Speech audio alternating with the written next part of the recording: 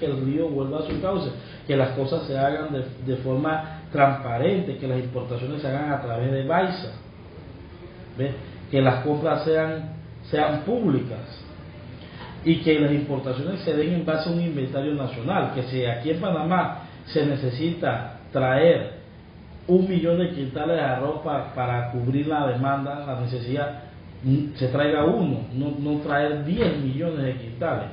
¿Ves? Bueno, eh, nosotros conversamos con el director de el, director de Lima y el ministro de Desarrollo Agropecuario y el ministro se comprometió en tres puntos allí importantes. El ministro se comprometió de que Lima ya no iba a vender arroz a los supermercados, arroz blanco. Porque Lima estuvo vendiendo arroz a 30 centavos a los supermercados eso es una, eso es una competencia desleal para la industria molinera de este país.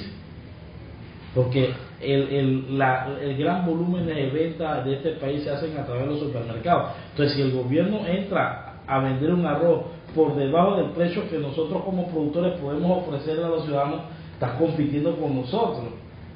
Pero es que ellos son gobierno, esa no es la función del gobierno. ¿Y por qué el gobierno pone un precio de 30 centavos? El gobierno el gobierno para mantener un precio de 30 centavos en el supermercado está perdiendo 15 dólares por, está perdiendo 15 centavos por libra. ¿Desde cuándo se comprometieron a sacar ellos este arroz? La próxima semana.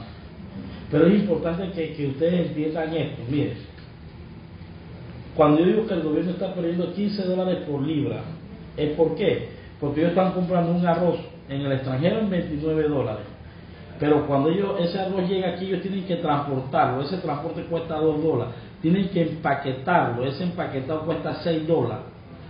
Todo eso va sumando. Además de eso, traer ese arroz aquí provoca de que se pierdan los subproductos del proceso de molienda del arroz. Hay subproductos que se generan de la molienda del arroz aquí en Panamá, que son, son la materia prima de otras industrias. Por ponerte un ejemplo, la cascarilla de arroz lo utiliza la, industria avícola. Para, para que las aves puedan pisar la tierra necesitan una cama de afrecho de arroz. Y eso es un subproducto de la industria local que es vendida a la industria avícola y que genera empleo. Aquí en Panamá la industria avícola genera miles de empleos.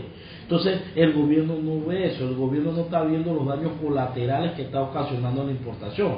Estamos hablando de, que estamos perdiendo 60 mil fuentes de empleo, se están perdiendo directamente y directamente se podrían estar perdiendo 120 mil fuentes de empleo. Entonces el gobierno cuando habla de que sí, le, estamos vendiendo el arroz más barato al pueblo, sí, le estás vendiendo el arroz más barato al pueblo un, un pero por el otro lado está reduciendo la, eh, eh, eh, el número de empleos. Entonces, ¿qué, qué ahorro es eso para el país?